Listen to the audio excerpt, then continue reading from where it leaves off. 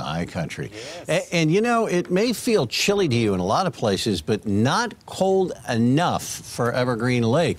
Tomorrow's scheduled opening for ice skating is now pushed back at least a week because the ice is simply not thick enough there.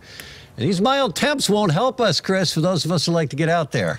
You know, we both live up there. I mean, in the morning, Alan, it's 25 degrees in mm. Evergreen. It should be much colder uh, this time of the year. We're giving you a live view of the city, and you are looking at Denver. We are mostly uh, clear today across the state. We have a lot of sunshine out there, but the clouds are going to come in. I'll show you why here in just a second.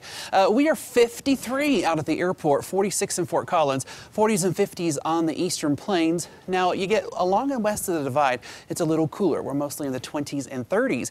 In the high country, Gunnison, just 8 but you were 12 below this morning, so you are making progress.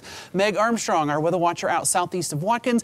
By the way, met Meg yesterday at the toy drive. Good to see her there. 51 degrees at her house. We have low pressure in Texas, keeping the eastern side of the country unsettled. High pressure is sitting right here over the central Rockies, so that's why we are so nice and clear today. But we're always watching something off in the distance, and it's this low pressure sitting right up here off the coast of Oregon.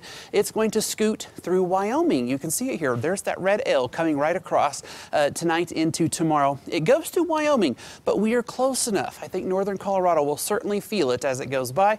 Uh, that's going to bring some cloud cover and some wind, but right behind it, high pressure returns for the last half of your weekend. Here's Futurecast sunshine today, then look to the left. You see that cloud cover coming in, maybe even a, an occasional mountain snow shower that crosses the state real quick on Saturday, and then by Sunday morning, it's long gone. We're right back to the sunshine. So as it goes by, plan on some occasional cloud cover tomorrow and possibly a little bit of wind. Uh, actually, I think we will have some wind. So plan on some wind if you're going to be out and about tomorrow. Let me go back and show you the high temperature uh, map for today. Oh, we backed up too far. Here goes Futurecast one more time as that system rolls through Wyoming.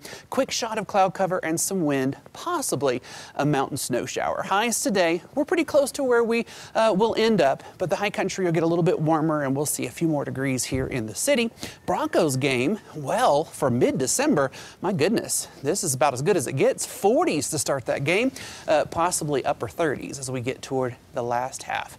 Five day forecast, Alan, I really can't bring you any uh, Christmas feeling holiday type weather. We're in the 50s, even some 60s, all the way into next weekend. So, a very unusual stretch of weather for Colorado for this time of year. Yeah, it makes that shopping a little bit easier, though. Yeah, that's one, one benefit. Okay, Chris, thanks a lot. Coming up, how the cheerleaders